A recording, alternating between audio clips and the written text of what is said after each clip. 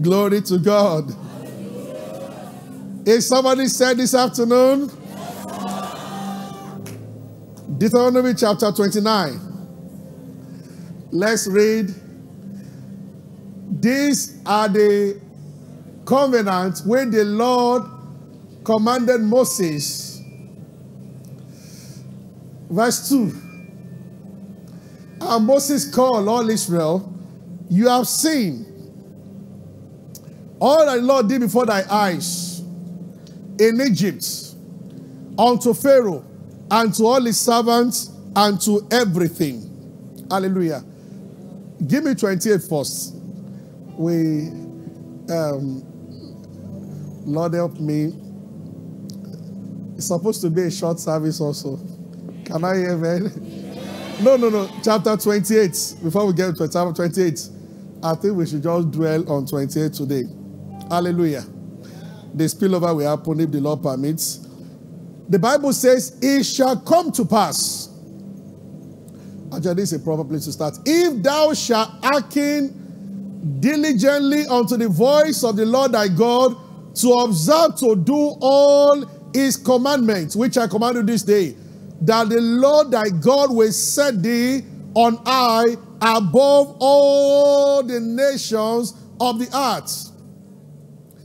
Somebody should say amen to that.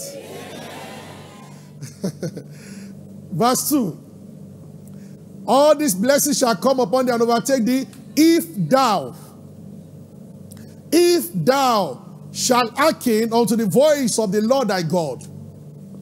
Blessed shalt thou be in the city, blessed shalt thou be in the field. Blessed shall be the fruit of thy body, and the fruit of thy ground, and the fruit of thy cattle, and the increase of thy kind, and the flocks of thy sheep. Blessed shall thou be shall be thy basket and thy store. Blessed shalt thou be when you go out, when you come in, and when you go out. The Lord will cause thy enemies that rise up against thee to be smitten before thy face. They shall come out against thee one way and flee before thee seven ways. The Lord shall command the blessing upon thy storehouses and in all that thou settest thy hand unto, and he shall bless thee in the land which the Lord thy God giveth thee. Hallelujah. What is the condition to all these promises? Before we take our seat, Job 22, verse 22. Hallelujah. If thou shalt hearken diligently, receive, I pray thee, the law from his mouth, and lay up his words in thy heart. If you return to the Almighty, thou shalt be built up. Thou shalt put away iniquity far from thy boundaries or the tabernacle. Then shalt thou lay up gold as dust. Ah. Change the word gold for dollars and naira and pounds. So it is possible for God to bless somebody that you lay pounds as dust. Wow. They are so much that they look like dust. Dust is everywhere. And there is no amount of cleaning you do. Once you wait for a while, dust will come again. That means you are so blessed, even if you give it away, it comes back again.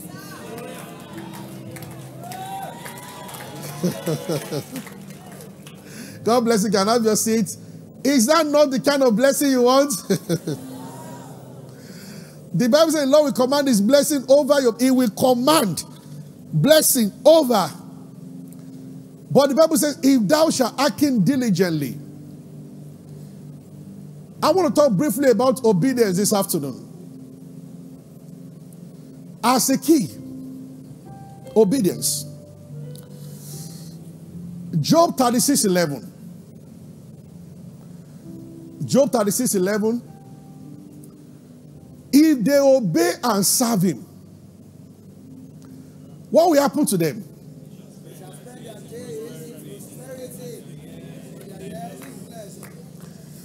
Where I'm going is to say to everybody One of the strategies of the extraordinary strategists is to set an instruction for people to follow, not to punish them, but that they might walk in blessing. There is always an instruction to follow. And once there is disturbance, losses, and no peace, many times an instruction has been violated. In Isaiah 48, verse 18, let's read. Then we come back to the ones we read before. You know, when the Lord said to Balaam that don't follow this man, and then he talked himself into going. If not that the donkey dodged the angel, the angel was going to kill him. For every Christian under the sound of my voice, here and those who are watching, there are two sets of instructions. The Bible contains things that God does not expect us to do, instructions to follow, things we are to do and things we are not to do. But beyond that, God is also always giving people personal instruction. When you start working with God, and this is where I might dwell a bit on next week by the grace of God.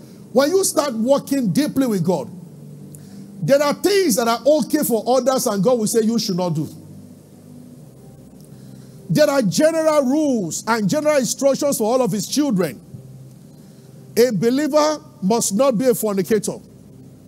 A believer must not curse, must not steal, must not. Those are general rules. A believer is to serve the Lord. Those are general instructions, and there is a blessing that comes with obedience to those instructions. But as you step to second level in the spirit, then it begins to become after the general, there are specific instructions that even people do what to do, God might not tell them the same thing. So there can be hundred of you in the choir, and God might begin to give you in particular some instructions, some demands, or some things to do that is not asking others to do. Actually, that begins to happen when God wants to separate you for something great. God did not tell all other prophets in the Bible not to cut their ear, but God told Samson. Elijah was not told anything about ear, but Samson was told that. When the Lord told Mrs. Lot and Lot's family not to look back, because it had to do with how they left Abraham and the covetous spirit working with them, and God said they should not look back. She looked back and she became a pillar of salt. But if you are very familiar with the Bible, the following morning when Abraham woke up, because he was concerned about Lot, he went to climb mountain and he was looking at Sodom and Gomorrah like this, and he did not become a pillar of salt. Because God did not say that to Abraham. He said it to Lot. There are personal instructions. Now, I have found out now whether you hear the voice very clearly or not, listen to me. Your spirit man knows certain things. What we do is that many times my people perish because of association. Once we get to the midst of people who do something, we think that means that we too should do that, especially when it comes to these instructions. There are some Christians, when they sit down and talk about that Christian, nothing happens to them. When you do, you block doors in the spirit that will manifest physically. Because for you, the Lord does not want you to sit down and talk about nobody. But you can be in a unit where one or two members of that unit, they always do that, and then you join them. I get what I'm saying. Praise the Lord. Hallelujah. There can be an instruction for some to stop watching certain stuff on social media. They are not even things like porn are out, outrightly wrong, pornography outrightly wrong. But that's not what I'm talking about. This is advanced level of Christianity. I'll show you the tragic story of a young prophet in the Bible. The Bible says that, that Isaiah 48 18 says that all that you have hearkened to me, your peace would have been flowing like that of a river. So anywhere there is no peace, begin to check. Because the way God works, He leaves an instruction behind. Even in the perfect world, the two perfect chapters in the Bible are Genesis 1 and 2. Those were the chapter before the fall of man. They indicate God's original intention before sin entered the world. Even in those two perfect chapters, God still told Adam, of all the trees you can eat, but there is one. God is always pained when his words are violated. It is true.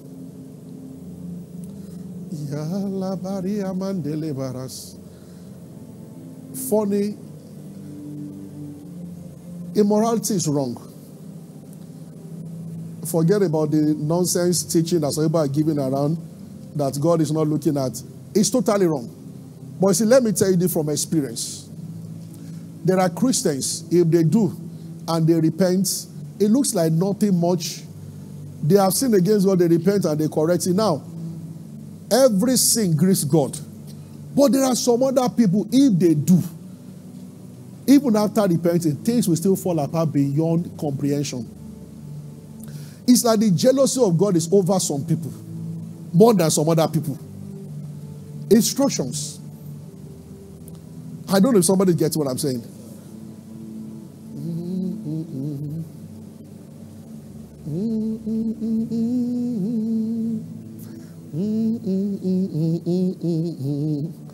Let me show you this guy. I believe, this is my personal opinion. The anointing that Elijah had that made him to call down fire was meant for this young man originally. Because when somebody fails God, he raises somebody quickly. They love both physical and spirit, they forbid vacuum. Where God is not, Satan will fill. The aspect of life you don't give to God, something else will fill it. Vacuum is not allowed. I get what I'm saying. Praise the Lord. If you don't want weed on your ground, plant something there. Even though weed will still grow around that something, the only place weed will not grow is under that thing. Because they love this life for bit vacuum.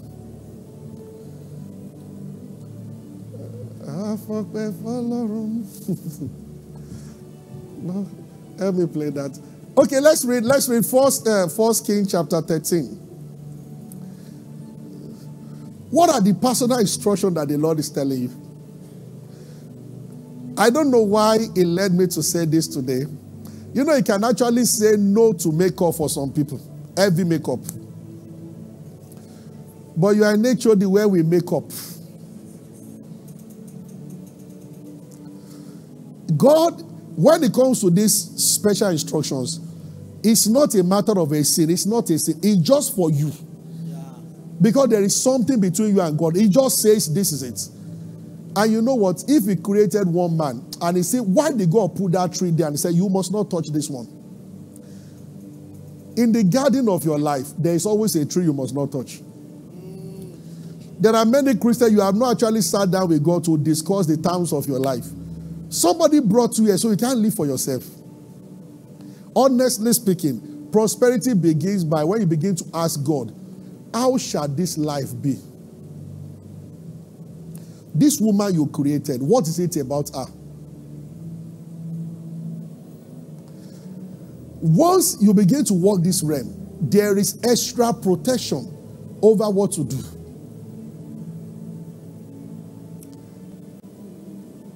Have you ever asked God what to do with your money? What to do with your time? So many times we dress like people around us, not the way He wants us to dress. That's more common with ladies. So this one, behold, there came a man of God out of Judah by the word out of Bethel, and Jeroboam stood there to burn incense. Verse 2. And he cried against the altar in the word in the word of the Lord. And he said, O altar, altar, thus saith the Lord, a child shall be born unto the house of David, Josiah by name. Upon thee shall offer the priest of high place and so on. And next verse. And they gave a sign that they're saying, This is the sign that the Lord has spoken. Behold, the altar shall be rent, and the ashes that are upon it shall be poured out. And it came to pass when Jeroboam the king heard the saying of the man of God, which he cried against the altar of Bethel, that he put forth his side. He did like this. He said, Arrest him. and the Bible says, His hand which he put forth dried up. Only people have this kind of incredible anointing. So that he could not pull it back again. Imagine you are so anointed you are talking to somebody said that, that man and And this was the king. Before him, nobody had walked in this realm. Maybe I'm also talking about talking to people that want to begin to do some deeper things for God. There's no genuine man of God that does not know area you should stay away from. They might not look like something wrong. Uh, there are tribes in the spirit, and you must know where you belong. Is somebody following me? Yes, sir. Mm-hmm. Next verse. The altar also was rent and the ashes poured out. The guy had not finished talking. He said there will be a sign. The sign happened immediately. The sign that the man of God had given by the word of the Lord. Next verse. And the king said unto the man of God, Please pray that my hand should be restored. And the man of God besought the Lord, and the king's hand was restored. What a dynamic young guy. They didn't even tell us his name. Next verse. And the king said unto the man of God, Come home with me, refresh yourself, I will give thee a reward. Next verse. And the man of God said to the king, Even if you give me out of thy house, I will not go with thee. Neither will I eat bread nor drink water in this place. Next verse. Now he said, Where the secret of his power. For so it was charged by me, by the word Lord, saying, Eat no bread, nor drink water, nor turn again by the same way. Uh, sometimes you want to cast out a demon, a demon. When I talk about deliverance classes, I will talk about some of these things. If the Holy Spirit says that stay on this side to address the spirits, if you stay on this side, the demon might not go. One day, Tabu its again, and the Lord told him exactly how to address. You'll be wondering, Lord, what is so? But that is the way the Lord is. To, the, to a natural man, you do understand why things should be. But see, the way it is in the spirit is different from the way you are saying things here.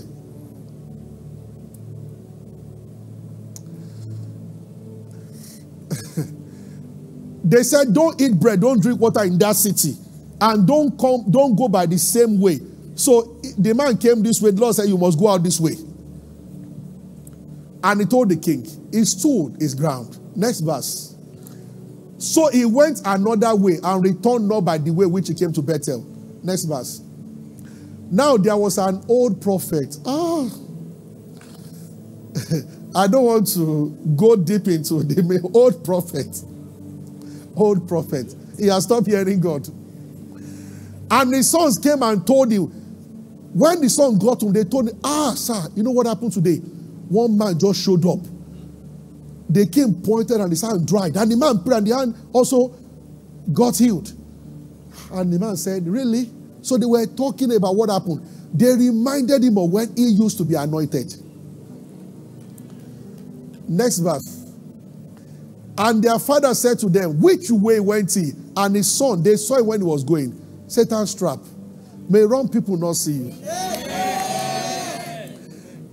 They said he went this way. Next verse. And he said to the saddle ass. So the saddle, and he rode upon. Next verse. And he went after the man and found him sitting under an oak. Ah, he should not have sat down. The king's business require haste. If he was not waiting, this man wouldn't have caught up with him. And he said, Are you the man of God that came from Judah? And he said, I am. Then he said to come home with me and eat bread. Next verse. And he said, I may not return. He said the same thing. I will not eat bread nor drink water in this place. Next verse. For so it was said to me, he knew the word that God gave him. Men and brethren, don't sacrifice your personal conviction for pressure under pressure. Don't.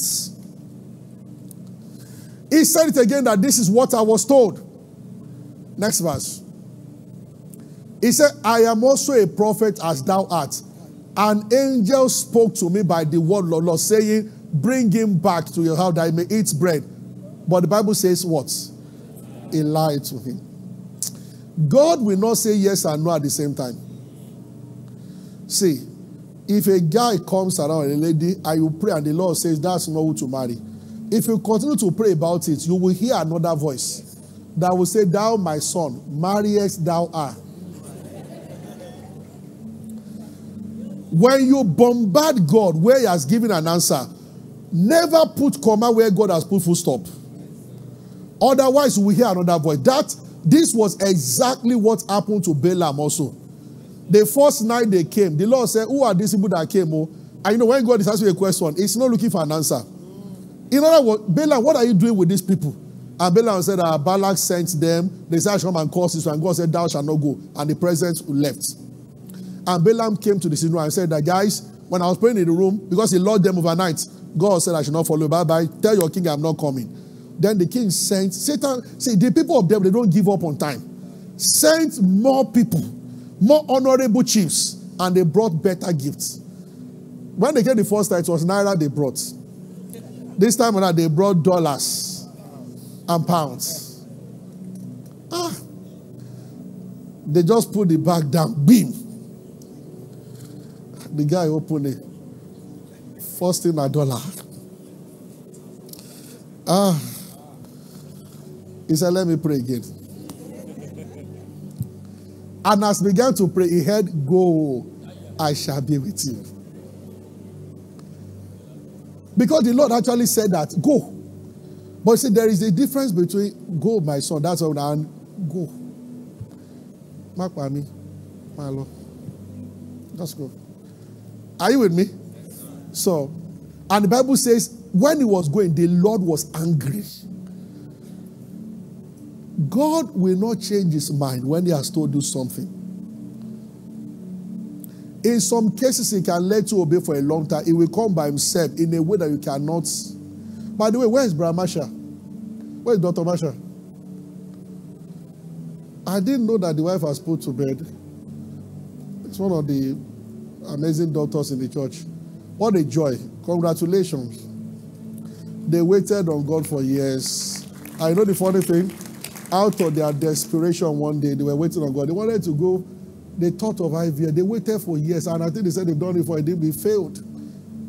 It's one of the people in the secretary, that's why it's outside. So one day they came to the office, so they told them to see me. Maybe they brought a million or two, and they said that they wanted to go abroad to do IVF, but that they were, they were told to sow the money to me. So I took the envelope, I prayed, and I said, Take. Mm-mm. I said, Go and use the money to buy something for the family. The Lord has seen your heart. I said, By the word of the Lord, within the next one year, you will, she will conceive. That was last year. And they just announced that she's giving that now. I said, God just wanted to test your obedience. God did. There was a lady in church that gave me a car one time. I took the key and I prayed over her. I said, Take, go and use your car. God just wanted to see whether you can part away with your car. The Lord does not need your car. Go and enjoy your car. And shortly after that, she brought, she now bought a real new car that she's using now. And every time I see her drive the car, I'm like, oh, Father, thank you. You know, I say, it's not every gift a pastor should receive. You must follow the Lord. If you receive what God has not called you to receive, it's a curse. And you will pay dearly for it. Are you getting what I'm saying? Praise the Lord. Anyway, let's finish this guy and I will stop. Is his story interesting? Yes, That's why I love Bible study. Go back to the that guy. So, next verse. So he went back. May you never go back on what the Lord. And did eat bread in his house and drank water. Next verse. This is dangerous. It came to pass as they sat at the table now, the word of the Lord that did not come to old prophet in years came unto the prophet that brought him back. And he cried, said, Man of God, don't fear the Lord, because you have disobeyed the word of my mouth, and you have not kept the commandments of the Lord. Next verse. You came back the way I said you should not come back. You ate bread and drank water where I said you should not eat. Thy carcass shall not come into the sepulchre of your father. And it came to pass after he had eaten, Ocean Jello, he was eating the food. after he had eaten and drunk that, a and asked for him. Next verse. And when he was gone, a lion met him by the way and slew him. And his carcass was cast away. And the ass stood by it, and the lion also stood. God is amazing. This is why I do know, sincerely speaking, if there's no orchestration of death against you in the spirit, nothing will happen to you physically. How do you explain a lion standing side by side with an ass and he didn't touch the ass? He was not sent to the ass. He killed the prophet, he did not eat him, he left the body there. Lion stayed by the body, and the ass was there also. And they were having a nice time. And lion was telling the ass that, well, on a good day in the wild, I would have made you dinner. He said, But God don't send me to you today. So I'm just. Even when the old prophet came back, I want to stop the story, but when he came back to retrieve the body, he took the body and the lion didn't touch him. And he went to bury. And the old prophet now said that when he was buried, he said, This man was a, dis- he disobeyed the Lord. The same guy. And he said, and he was preaching on his bed and telling him that this is what happens to all of you that like disobeying God.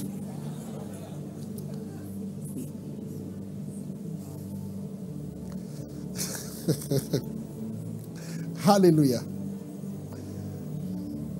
If thou shalt diligently hearken to the voice of the Lord thy God, it will command all these blessings to come upon thee. Everyone that the sound of my voice, this is where I stop. If you are yet to experience some dimensions of grace and mercy, there are some instructions that you are yet to step into. God does not joke with words. He says certain people, when they obey him, they will lay gold as dust. They will be so blessed that they cannot count their blessing. Only few Christians have attained to that level. One day I listened to rejoin and he said that it's amazing that almost everything God has promised, less than 2% of Christians are working in it. He said because not too many people have made up their mind to take God by his word and follow after. And if you have, they have too many testimonies to share. Obedience. Mm-mm-mm-hmm. You know, at times, there are people here. At times, you are in a bus, you are in a train station, you are somewhere. At times in the office, this Spirit of God prompts you to talk to somebody, you refuse to. What I'm trying to show you in God's word is that God is excited when He's obeyed and He pays God. There are two areas where Christians disobey God most. We don't like Him to tell us to preach to anybody because we don't want to get out of our comfort zone. The second one is in the area of money. Not too many people have allowed God into their finances, yet we decree, we pray. We give God what we want to give Him, not what He has commanded. Yet we all say that, Lord, all I have is yours. And God knows that it's just coming from your lips. Turn to any corner. That's the truth. That's the reality. Are you with me? Obedience. If they obey and serve Him, this is where I want to stop. Is someone blessed? Hallelujah. Shortly after that guy's story, three chapters after that, or four, Elijah came to the scene. No other person wore that kind of grace and anointing again. God must have waited for a while. Then Elijah. Repeatedly, God said to Isaac, I'm doing this because your father Abraham obeyed me. It means a lot to him. A lot. Thank you, Lord Jesus.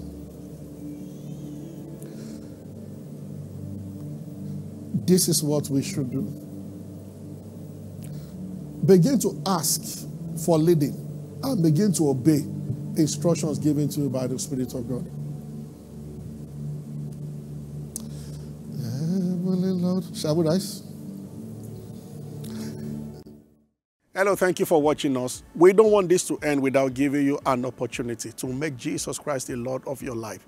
You know, um, after listening to God's word like this and you have never made Jesus Christ the Lord of your life, it's an opportunity to come to Him and it's a simple process because He has made all things available. I want to implore you now to give your heart to Christ. And by saying these words, because giving your heart to Christ must be done consciously, He has paid the price. Say after me, say, Lord Jesus, I come to you. I believe that you died for me and that you rose again. I believe that you shed your blood for my justification. I accept your finished work right now and I confess that you are the Lord of my life. I believe in you. Thank you, Jesus. If you have said those words, you are actually born again, a new creation in Christ. Join us for more of this. God bless you.